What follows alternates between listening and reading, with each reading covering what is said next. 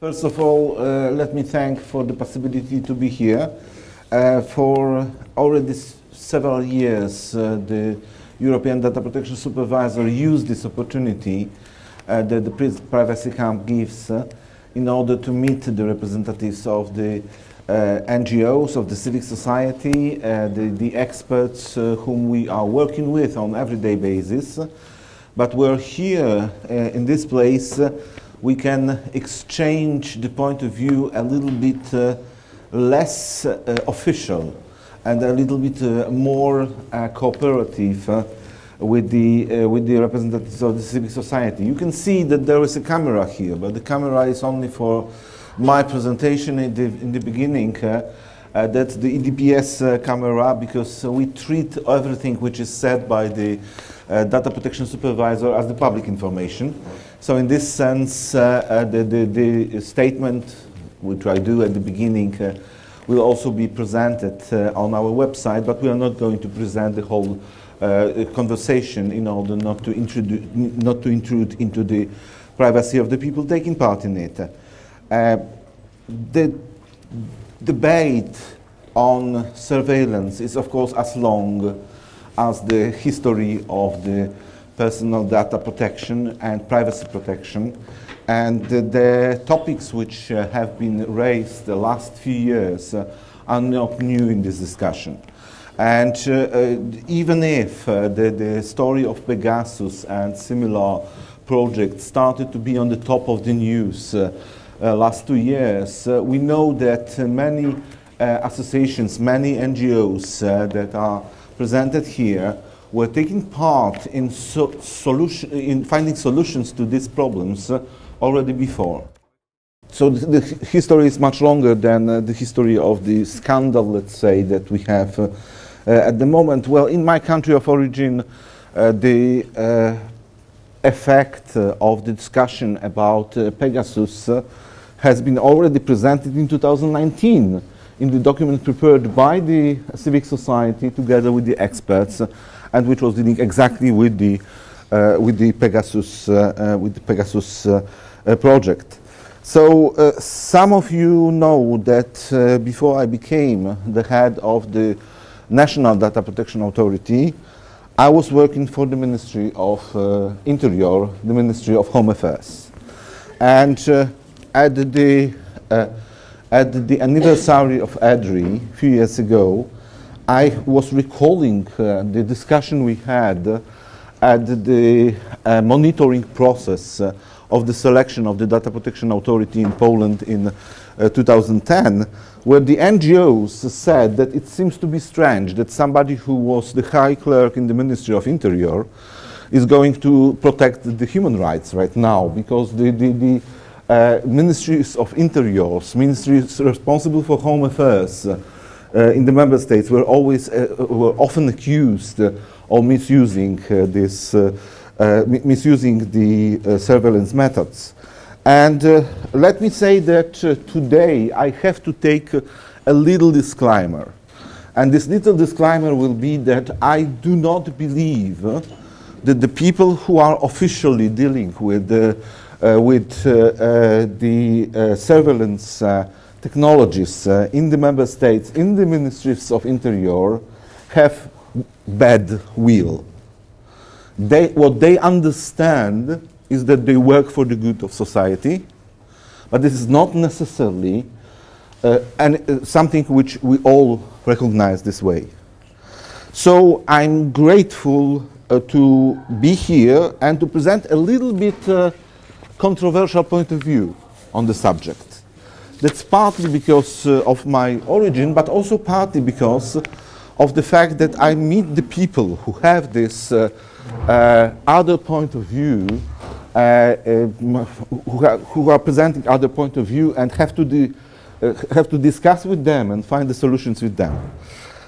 This is, in my opinion, the high time to summarize our works and see where we can go from here, from this uh, uh, um, moment when we assessed uh, what is going on in the member states.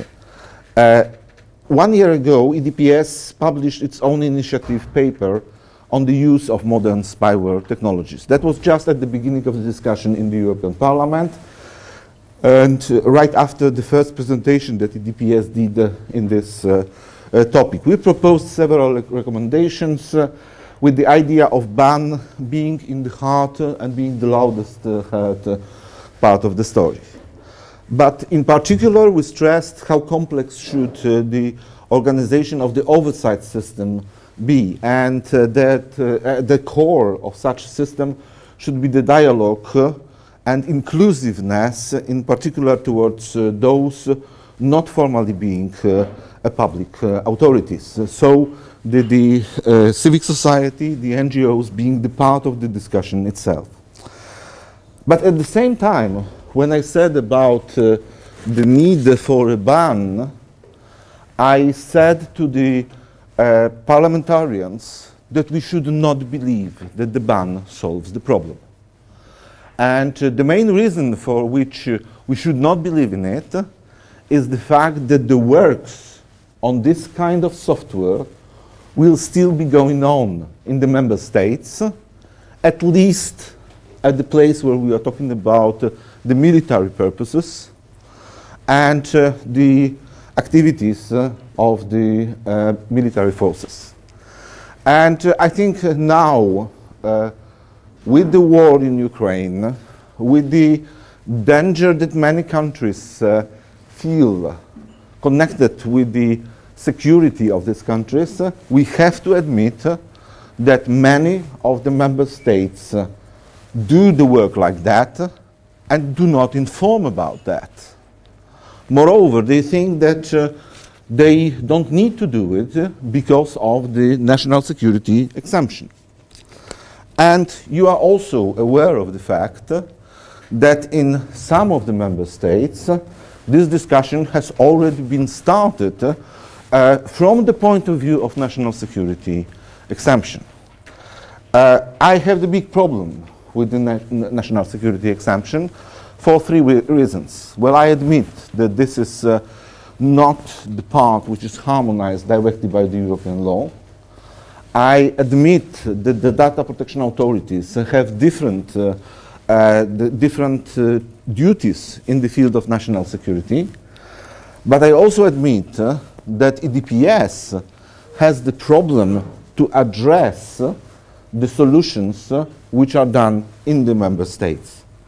But anyway, we think that being the data protection authority of the EU institutions and taking part in the, uh, in the uh, uh, legislative process as the main advisor of the European Union legislator, we should, uh, we should be loud about uh, the fact.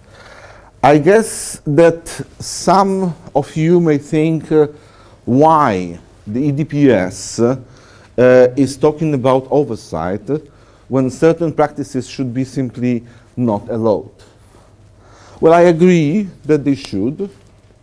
Probably as a data protection authority, I have the natural bias and natural inclination towards the supervision.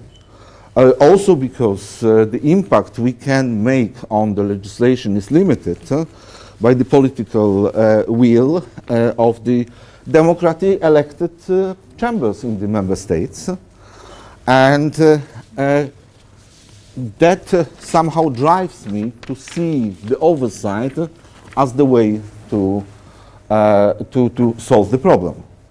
But if I say the ban, if I say the ban will not be 100% uh, uh, uh, efficient, then the oversight is the only answer.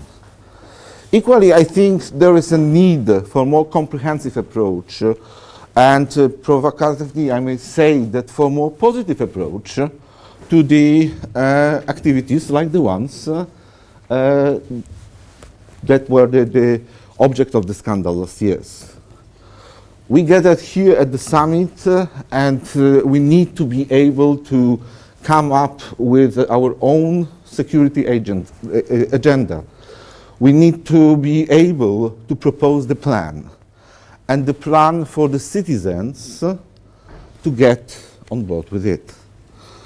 Uh, we should, of course, continue opposing uh, even more strongly uh, than before, ideas and practices uh, that clearly should not take place in the democratic society, but we should uh, contest the mass surveillance mechanism. Uh, we should respect uh, the clear lines drawn by the European Court of Human Rights and the Court of Justice uh, of the European Union, but especially the European Court of Human Rights. And I'm proud as a DPA to see that civil society here in Brussels, in all member states and globally fighting for it, even if uh, uh, the data protection authorities are not necessarily all the time on the right uh, uh, side of the barricade uh, from the point of view of many of you. You know that there are the decisions of the data protection authorities in the Pegasus-like cases, and even if I don't agree with them, it's very hard to contest them in the uh, structure that was prepared uh, for data protection authorities uh, uh to, uh, to, to uh, harmonize the approaches. I'm ready to discuss on that, but I need to know that this discussion will not be only limited to the strong words about ban, but also about the practical solutions to these things which will exist. So we need a kind of new pact on security. Uh, the uh, data protection can be seen as the obstacle to security, and we have to admit it. We have to uh, finally admit that this is possible. Maybe that's, that's the time when we will say quite uh, frankly, that the data protection is recognized this way. There, there is also an alarming lack of clarity about the practices, including the EU member states. It is uh, thanks to amazing community that uh, many secrets uh, have been revealed. I'm looking forward to the discussion uh, for, with amazing experts that we have here and to hear what are the practical problems uh, that we meet uh, in the member states. At the same time, unfortunately, I cannot offer you that we will go, EDPS will go with the proposal of the legislative solution to the problem. But at the same time, if uh, there is somebody who can uh, impact the, the discussion on the European level, this should be the authorities like data protection authorities, uh, but also the ombudsman. Uh, I will be mostly in the listening mode today, but uh, I believe uh, that I will learn as much as I did at the previous uh, uh, at the previous privacy camps uh, which I attended already for probably six years, uh, not necessarily only as the speaker, but also as the participant, le less uniformed that I am at the moment. So thank you very much, and I hope that uh, we will have uh, a lot of good outcomes of this discussion. Thank you so much.